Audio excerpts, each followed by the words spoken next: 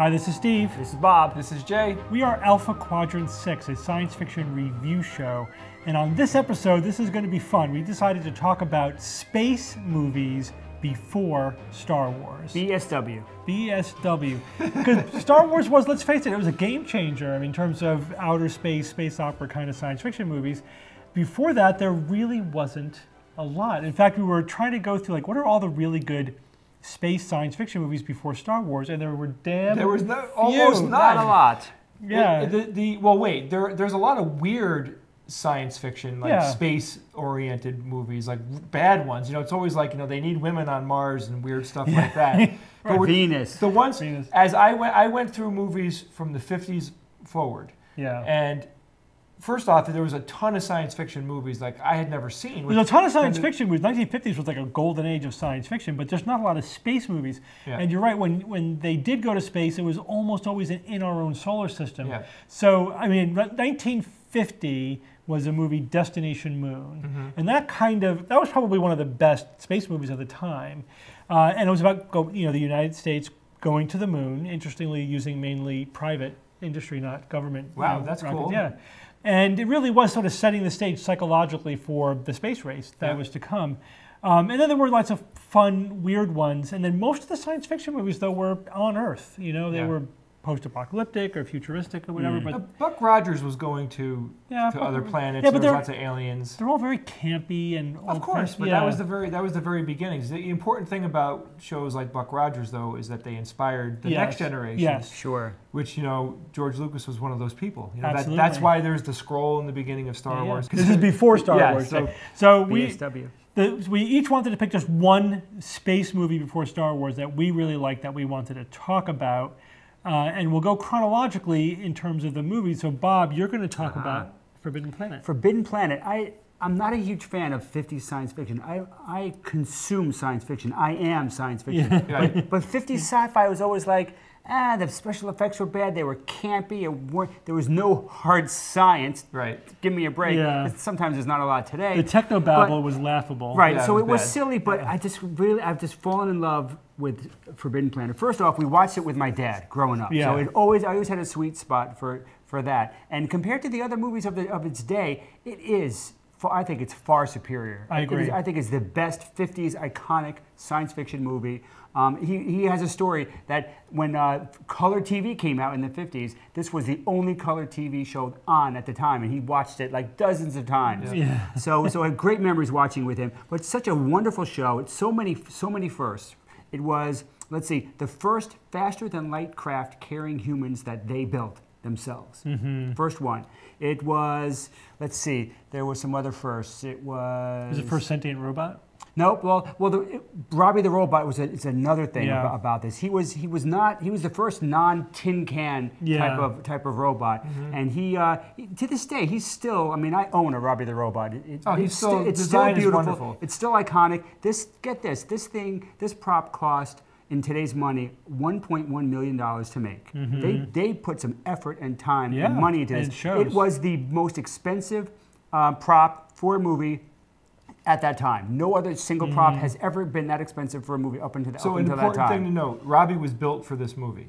Absolutely, absolutely Yeah. built for this movie. And But uh, the cool thing about Robbie is that he appeared in tons of movies. Well, after then once that. they had him, I know they just Yeah. kept, he kept popping up everywhere. Yeah. of course, you would spend all this money on this prop after the movie. Like we're going to use him. He was in dozens, was dozens, the robot. dozens Yeah. of movies and, and TV shows. He sold for half a million dollars in 2017. The most expensive hero movie prop ever sold. Mm-hmm. Five and a half million dollars. Five and a half million. Five and a half, 5.3, 5.3 million dollars. Mm-hmm. Wow, imagine uh, Robbie ima- Robot. Imagine having that. It was, and of course, it brought into. It's been compared to. Uh, was it a, uh, the Tempest? Mm-hmm. Uh, a lot of, lot of sim- some similarities with with Shakespeare's Tempest. the plot, yeah, Yep. right. Um, So yeah, not for nothing, it's a really good story. Very Oh, well well, yeah, and good science fiction, solid science fiction. And fiction. you've got the Krell. You've got the Krell and their their technology. I, I have a top ten list of my favorite sci-fi technology of all time, and this technology is in the top five or maybe even the top three. The Krell technology used this um, this underground series of fusion reactors, like thousands of fusion reactors. Didn't they also use the? I thought they were using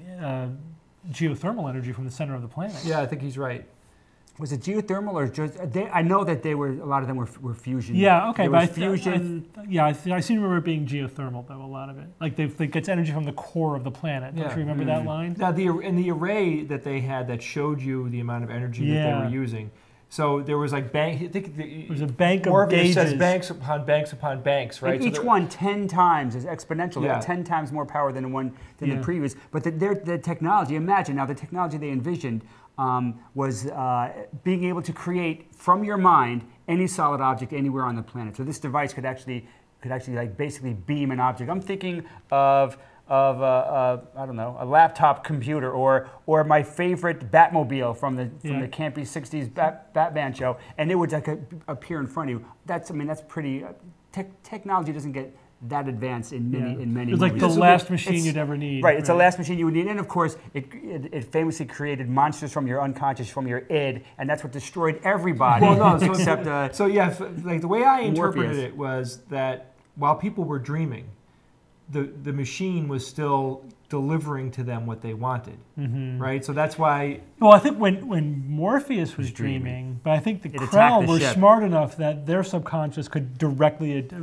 uh, uh, use the machine, and so it was even their waking subconscious was activating the machine. Oh, okay, yeah, all right, yeah. So that that's it- cool. Now think about what happened in this story. Th- This had such depth. Yeah. Like, uh, you had human colonists go to an alien planet. Mhm. They're colonizing it, and one of the scientists that was on the trip, Morbius, he finds the Krell technology. He he finds their underground energy system. He, he Mhm. starts to he enhances his mind. He uses their technology to uplift himself. he creates Robbie, the ro- Robbie the robot, Yeah. the, a revolutionary bit of technology, even for that science fiction time period of Mhm. humanity. Robbie was just like this this, this amazing piece of of, uh, of techno, you know, Right. utopian product that he made. He just tinkers it together. I think I think Morbius said it was like a kid's toy to to the Krell. So So then the Krell, he d- goes through the history of the Krell and he finds out that the Krell created this machine that would, would essentially let them manifest whatever they wanted. It would be, it could become physical, right? So they Mm. wanted food, they wanted, you know, they even could, even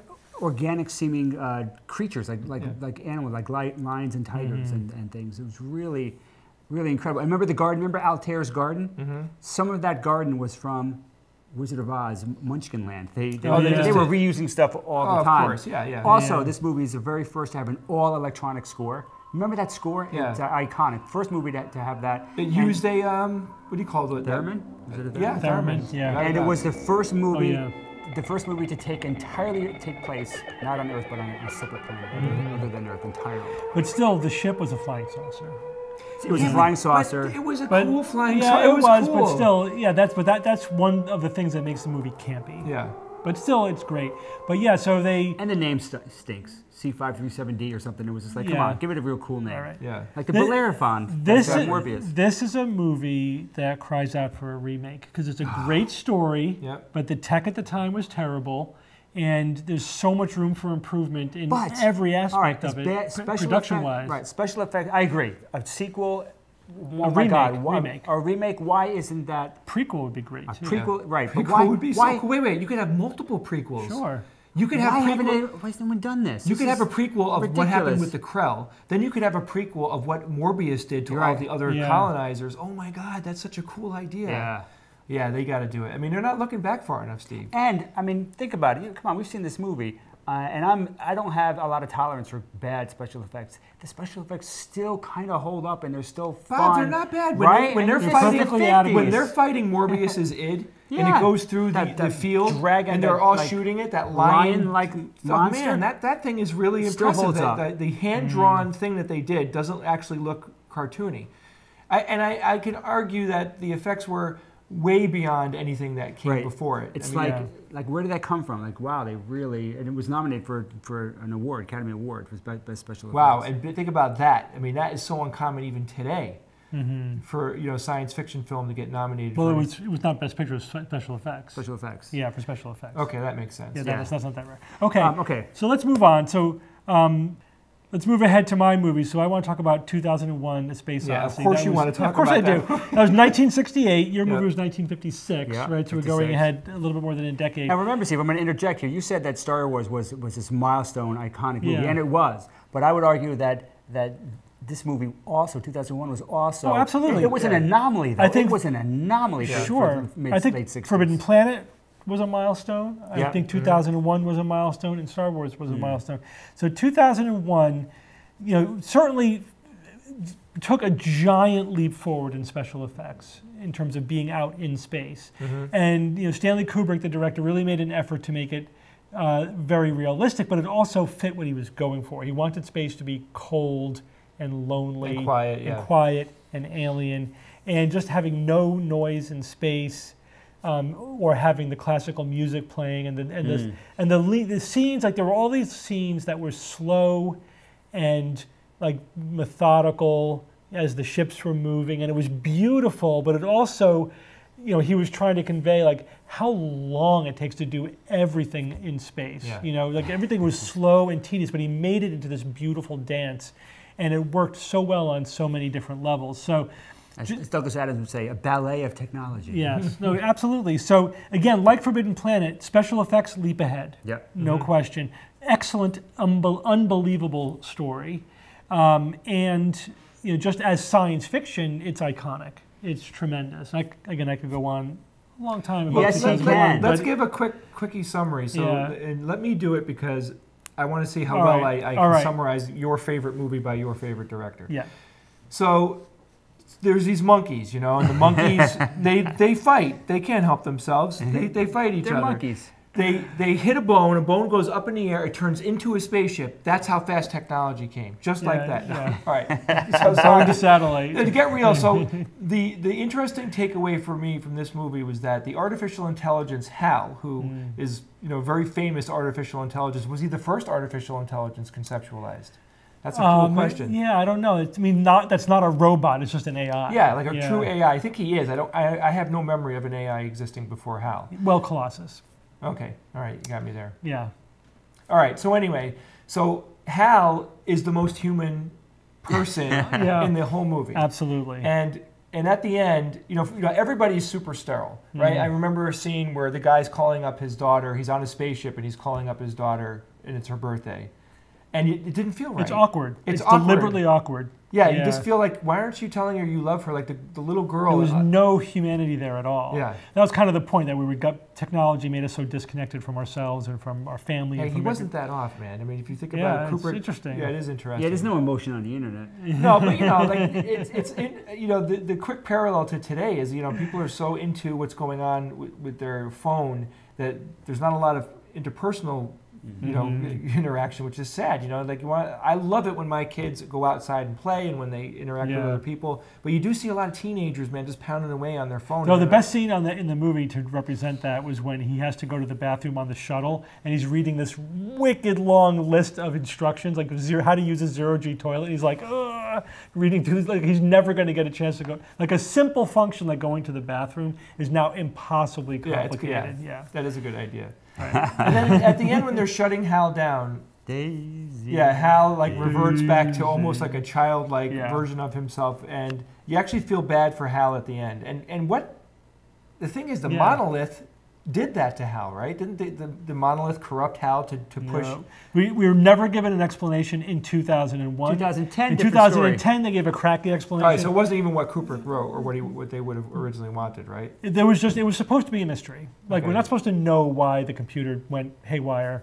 You know what I mean? Yeah, okay. It's not, but The so there's a couple my couple of notes that I have about the movie.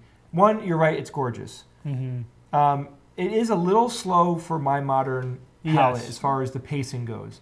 I think the pacing made a lot more sense to the uh, the audience of the, of his day. yes. Although I, the only time I f- I love the I think the pacing is luxurious, but you have to be in the mood to watch that kind of movie. The only time where I'm like, all right, this could be cut down was the end Yes. sequence where Yes, he's going please. through the lights.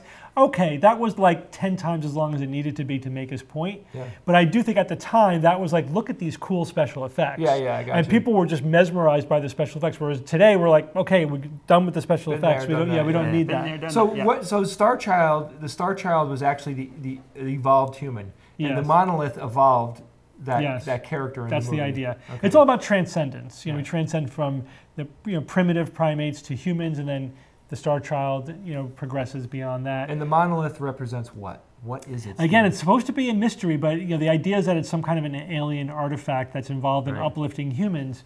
But but you know we're not supposed to know. A, we're not supposed to fully wrap our head around and understand something that powerful, that advanced. That's also part of the movie.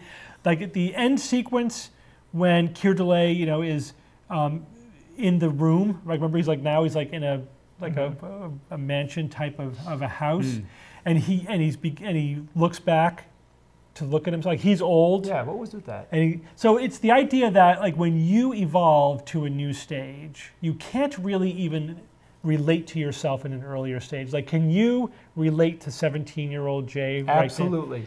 No, but seriously, No, no. like you really can't.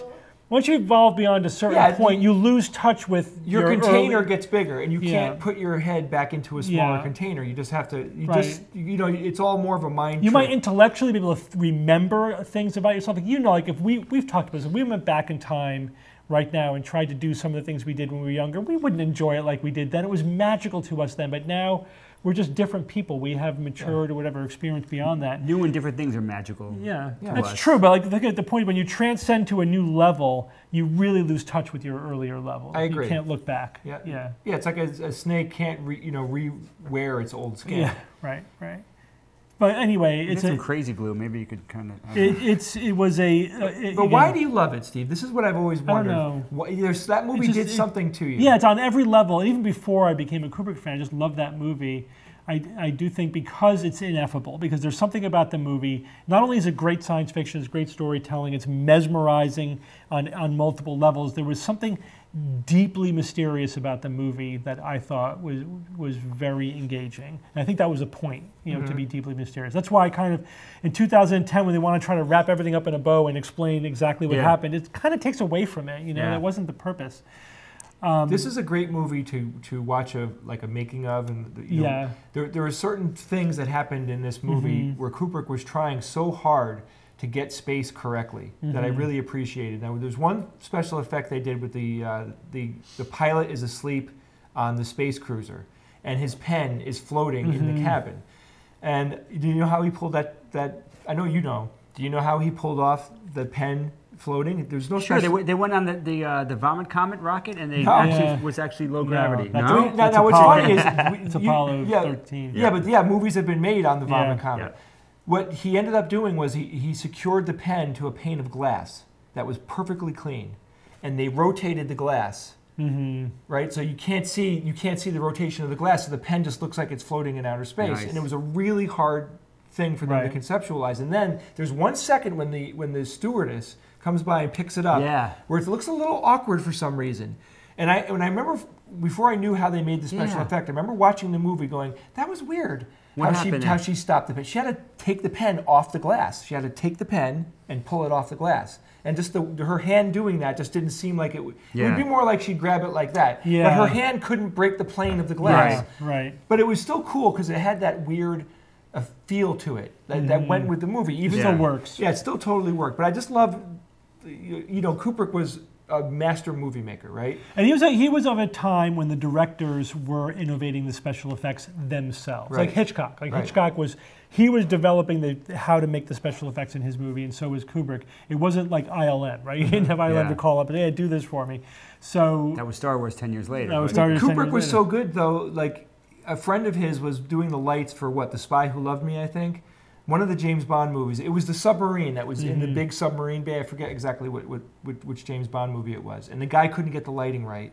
And he called up Kubrick and said, "Can you come in and help me light this?" And Cooper came in and lit the whole. And we're talking about a soundstage worth of lighting. He came in, and lit the whole thing, and it worked. Yeah. That's how skilled Kubrick was. Whoa, I didn't So, know yeah, that. oh yeah, he had it all, Bob. He, like Steve said, the directors back then were involved. They had their Mm. hand on everything. It's so specialized now. Yeah, well, it, it's But good. it, it needs you, it Yeah, needs to be. It, it, it does. be a- I mean, you have people that are ju- like all they do is their one thing, and they do it you know, on an Yeah. expert level, and it just makes everything happen faster and better. But it's Right. just cool to look back and go, you know, he was acting kind of like an indie filmmaker back in the day. You know, Mhm. I just really appreciate that about him. all right. and you guys read three thousand and one? No. Yes, I did. I read. all- I, read I liked it. I I liked liked it. it. Yeah, the books it. were good. All All right. right. I picked Planet of the Apes. Now, follow me. There is a spaceship.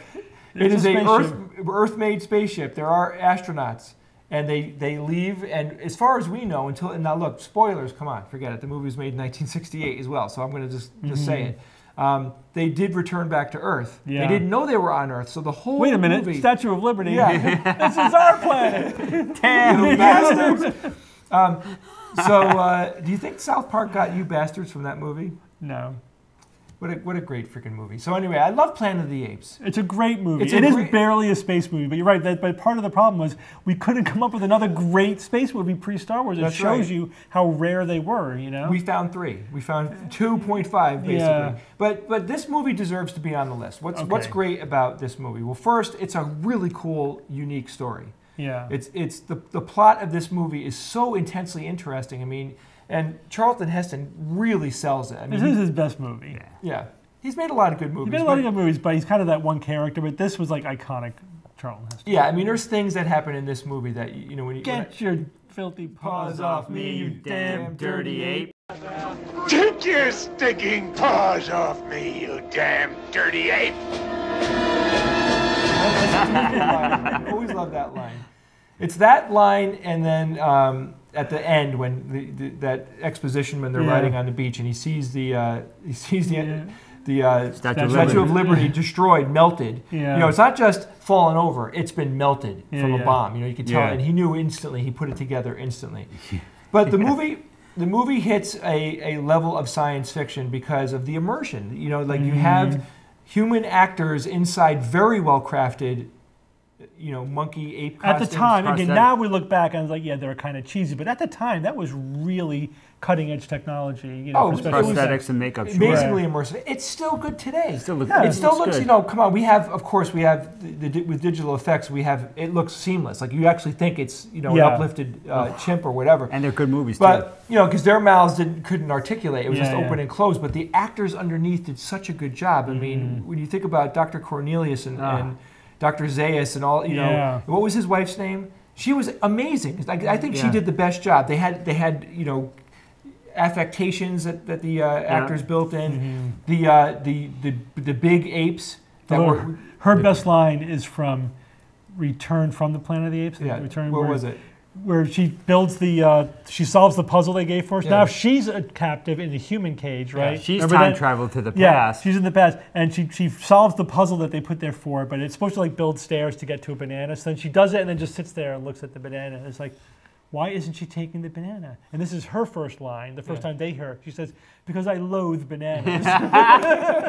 like coming out of her Oh. I gotta watch oh that my again. God.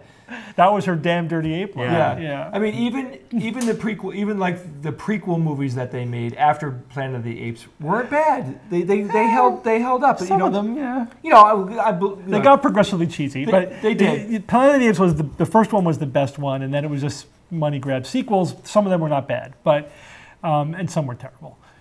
But overall, you know, the movie does hold up. Yeah. It still has It's important classic. moments. You still feel everything that's happening. I love the idea that we are seeing a genuinely different culture, and we're seeing. Like, I love the scene where I think it was Dr. Zaius is trying to interpret the artifacts left behind by the humans. Yeah, remember, and he great. totally has no idea.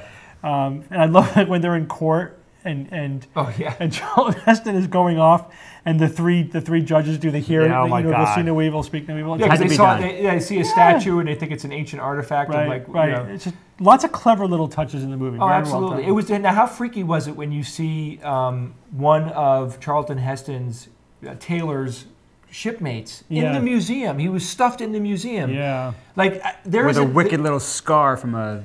yeah, where he was type thing that they lobotomized. There was a um, there's an ape in uh, one of the museums in New York City, the, the Mm. Natural History Museum in New York He's got City. the horseshoe scar too. No, he doesn't. No? No, but you could. It's a it's a, a gorilla, and you could see the bullet holes, right? Because I don't know why they didn't glue ape fur over those holes, but you could. I had someone point them out to me.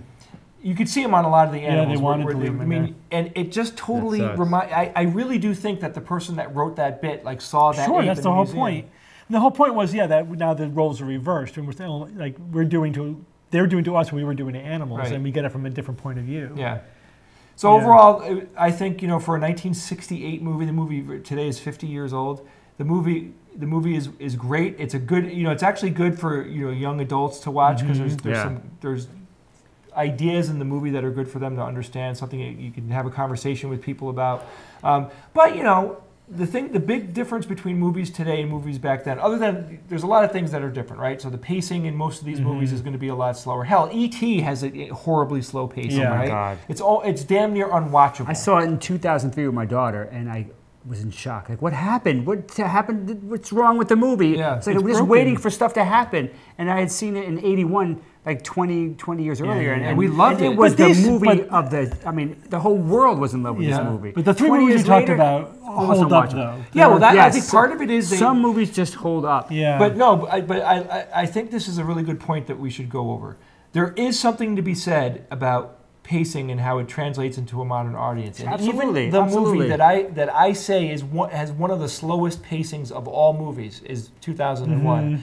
It's still an amazingly compelling movie because, Yeah. because the pacing is part of the storytelling, and, and, and like Right, it is in every movie.